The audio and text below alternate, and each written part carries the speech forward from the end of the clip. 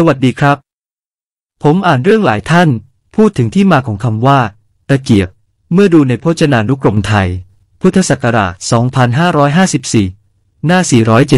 472 ก็พบคำอธิบายคำว่า ตะเกียบ มีหลายท่านพูดว่าคำนี้มาจากภาษาเขมร ผมจะค่อยอธิบายครับคำว่าตะเกียบ ถ้าไปถามคนจีนที่อยู่นอกประเทศไทย เขาจะบอกว่าจีนไม่ได้ใช้คำนี้ ตะเกียบมีต้นกำเนิดมาจากจีนก็จริง แต่คนจีนเรียกควายจืดลองฟังเสียงดูครับควายจืดควายจืดควายจืดเครื่องใช้หรืออุปกรณ์ที่มีไว้ ใช้คีบก๋วยเตี๋ยว หรืออาหารนี้มาจากจีน แล้วแพร่หลายไปใช้ในประเทศต่างๆ แต่คำว่า ตะเกียบที่คนไทยใช้เรียกอุปกรณ์นี้ มาจากภาษาอะไร ยังเป็นที่ถกเถียงกันอยู่ ตะเกียบไม่ใช่ภาษาแต้จิว๋ว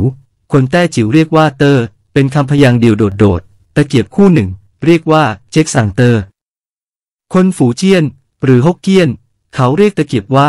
ตือ ส่วนคนเชื้อสายไหหลำเรียกว่า ดู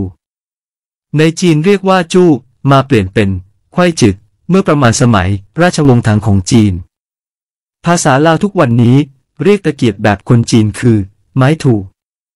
ภาษาไตลื้อเรียกตะเกียบว่า ถูหรือเติม ไม้ เข้าไปเป็นไม้ถูซึ่งเพี้ยนมาจากจู้ของจีน คนไทยลื้อน่าจะรับคำนี้มานานแล้ว ต่อมาประมาณสมัยสามก๊ก คนจีนในส่วนกลางเปลี่ยนจากจู้มาเป็นควายจึก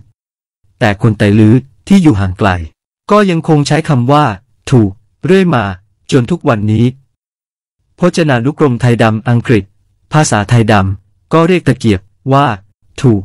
เหมือนกัน เมื่อคนแต้จิ๋วเองไม่ได้เรียกตะเกียบว่า ตะเกียบ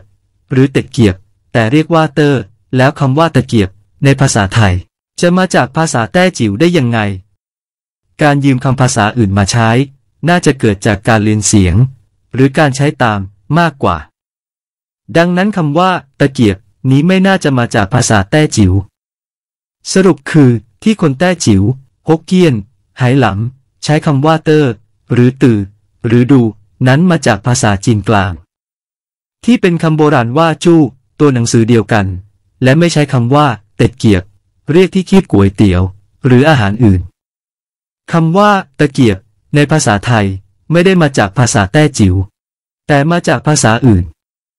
คนกัมพูชาที่เข้ามาทำงานในกรุงเทพ และแปดริ้ว เขาบอกว่าที่คนไทยเรียกตะเกียบนี้ ภาษาเขมร เรียกว่า จังเกิด แสดงว่าภาษาเขมร ก็ไม่เรียกที่คีบก๋วยเตี๋ยว หรืออาหารว่าตะเกียบ คนกัมพูชาที่มาอยู่เมืองไทยจะเรียกตามคนไทย เท่าที่อ่านความเห็นของแต่ละคน ก็ต่างให้ความเห็นไปต่างๆ นานา คราวนี้ผมจะอธิบายบ้าง คำว่า ตะเกียบมาจากภาษาขอม ประกอบด้วยสองคำ คือคำว่าตรง ผมเขียน ต่อประตักกับงองูออกเสียงว่าตรง ต่อประตักอยู่ในภาษาขอมมี แต่ในภาษาเขมร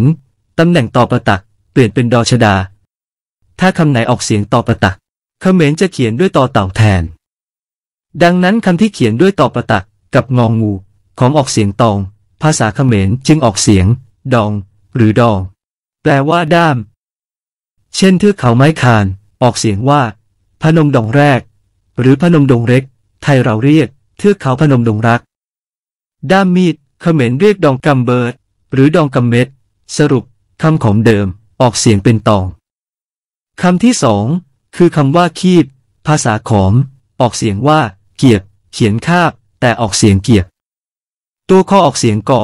เพราะเป็นอักษรโคสะเมื่อผสมสะอา จึงออกเสียงเกียร์มีบอใบไม้ เป็นตัวสะกด จึงออกเสียงเป็นเกียบ รวมสองคำเป็นตรงเกียบ ผมเขียนภาษาของให้ดู ทั้งของโบราณและของปัจจุบัน ส่วนภาษาเขมรจะเขียนดังนี้ ถ้าภาษาเขมร ผมจะเขียนด้วยอักษรเขมรครับ นั่นคือตรงเกียบ หมายถึงด้ามคีบ แม้ว่าสิ่งนี้จะเกิดขึ้นในจีน แต่คำที่เรียกว่า ด้ามคีบ เป็นภาษาท้องถิ่นคำภาษาของว่าตองเกียบ ก่อนเป็นตะเกียบคำว่าตะเกียบ ใช้ในเสียงหรือสยาม แล้วขยายเข้าสู่กัมพูชา เมื่อคนจีนแต้จิ๋วเข้ามาในไทย จึงเรียกตะเกียบ ตามคนที่อยู่เดิม แต่ในลาว ในไทยหรือ 12 ปันนา ก็ยังเรียกว่าไม้ถูก ตามเดิมคำในภาษาไทย หลายคนเข้าใจว่าเป็นคำไทย ที่ยืมมาจากเขมร แต่ที่จริงคำนี้เป็นคำขอมที่พูดกันมากว่า 4,000 ปี ผมเขียนคำว่า ตะเกียบ ด้วยอักษรขอมมาให้ดูในที่นี้ด้วย